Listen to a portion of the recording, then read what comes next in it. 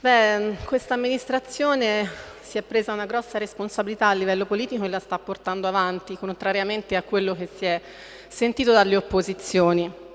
Dalla sinistra arrivano diciamo, le prediche appunto relativamente alla presa di posizione politica riguardo queste cose, ma negli anni passati che cosa è arrivato dalla sinistra mentre dal 2013 al 2015 stava il governo? È arrivata la 140. Grazie, adesso la sinistra ci chiede di revocarla, di abrogarla. Benissimo, questa è la grossa presa di responsabilità. E l'Aula, l'Aula consigliare della sinistra dal 2013 al 2015, come è intervenuta su questo problema? Cioè, questo aspetto sociale adesso così tanto rilevante per voi è veramente estremamente rilevante per noi come è stato dimostrato negli anni precedenti, che cosa ci avete lasciato in eredità, qual è il punto di partenza da cui noi dobbiamo cominciare a lavorare adesso. Il nulla, il vuoto, anzi sarebbe stato meglio il niente rispetto a questo.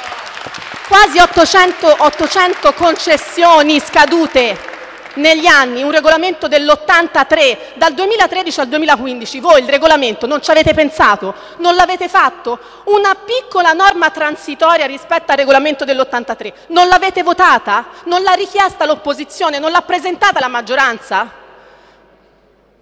No, non è successo niente, adesso però sono buoni a pontificare il lavoro degli altri, lavoro che qua ha previsto già due mozioni in aula, una delibera, anzi due delibere della, eh, della Giunta, un tavolo di lavoro che ha portato a eh, produrre una regolamentazione che ha aiutato noi noi consiglieri dell'Assemblea Capitolina a depositare un regolamento. Nel frattempo abbiamo incontrato le associazioni, si sono aperti dei tavoli di confronto e noi non abbiamo fatto niente e non prendiamo la responsabilità politica. Diciamo che noi stiamo raccogliendo le macerie e con grande sforzo e perseveranza stiamo andando avanti. Il, il regolamento è protocollato, stiamo predisponendo una mail istituzionale a cui tutte le associazioni potranno eh, inviare le loro modifiche e le loro proposte. Ci, ci sarà un iter in commissione, sarà tutto trasparente perché la Commissione Patrimonio per ben due volte ha fatto diciamo, una commissione su questo, ma anche degli incontri fuori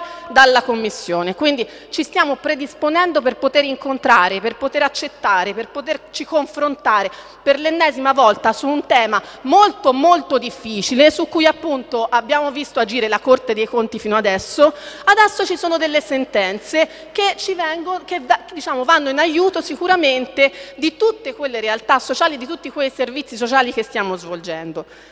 Allora, vorrei mettere in chiaro che la proposta eh, di deliberazione eh, presentata, di cui parlava il consigliere Corsetti e di cui stiamo aspettando ed ho sollecitato in qualità di Presidente anche ehm, anche i pareri ecco, degli organi preposti, comunque in uno dei deliberati dice infine nei casi in cui venga accertata la non corrispondenza delle attività effettive svolte con quelle che hanno dato origine al rilascio della concessione a canone ridotto, quindi un esame della qualità ma a posteriori. Perché non l'avete fatto nel momento in cui queste associazioni agivano? E noi dobbiamo andare a posteriori a vedere se dieci anni fa, cinque anni fa, mm, tre anni fa ancora svolgevano quello per cui avevano avuto la o non avuto la concessione. Mi sembra un po' discriminante. Comunque verrà applicata la sanzione del recupero immediato del bene e l'obbligo della corresponsione del canone nella misura del 100%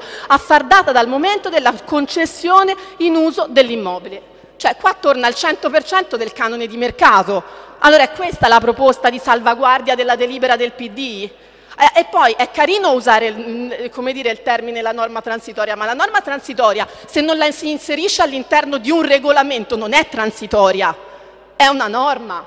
Cioè, voglio dire, bisogna anche fare attenzione alla terminologia che si usa e a quello che si dice per non dare false speranze e per cercare di lavorare veramente tutti uniti in un'unica direzione.